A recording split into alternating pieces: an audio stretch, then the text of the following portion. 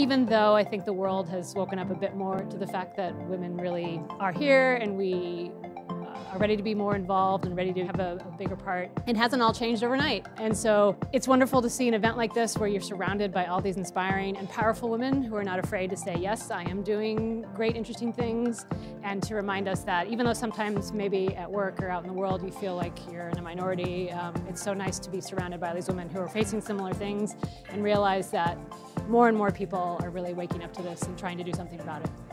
Voice technology is accessible in the sense that you can build on a platform like Google Assistant. Anyone is allowed to build on it and publish an action that the whole world can use. And so if you can learn how to do the necessary coding and design, you can create these things and put them out in the world and anybody can use them. And it's to me a very kind of equalizing way to get this technology out there. Part of my job is to let people know that there is this thing called conversation design. It's a design discipline that should be applied anytime you're building a voice or conversational thing, whether it's on the Google Assistant or, or anywhere. And the point of it is to say that no matter what you're building, you have to think about who is the person using it, and you have to apply these principles of conversation.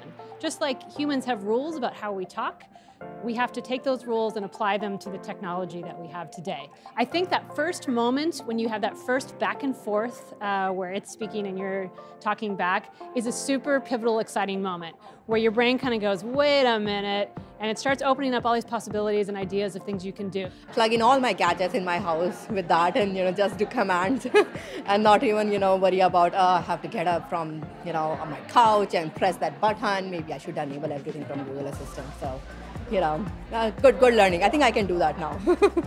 So I'm here to brainstorm, get ideas, be inspired for my work, um, but also for myself as well. Working with Actions on Google, I'm really looking forward to um, keeping my, my mother actually in mind. Um, so the Google Assistant obviously is creating access to folks to just like streamline work in a lot of ways. And my mother, who is an immigrant from the Dominican Republic into the United States, just thinking of her and how I can make something more accessible to her. She has access to a phone. However, she doesn't really have much access to the applications and the ease that applications can bring due to the language barrier um, and also the knowledge barrier when it comes to working with technology and how fast it's um, becoming so innovative.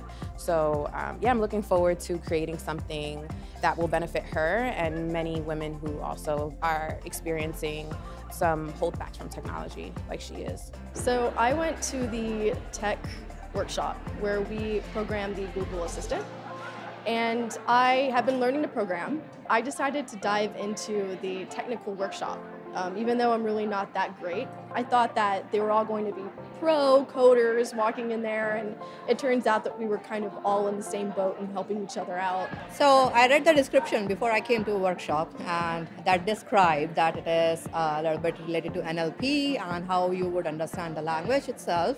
I have never developed the application myself uh, previously, but it's definitely an interesting space where it's growing and the workshop was well documented online and I had fun doing it and I think I'll definitely continue on.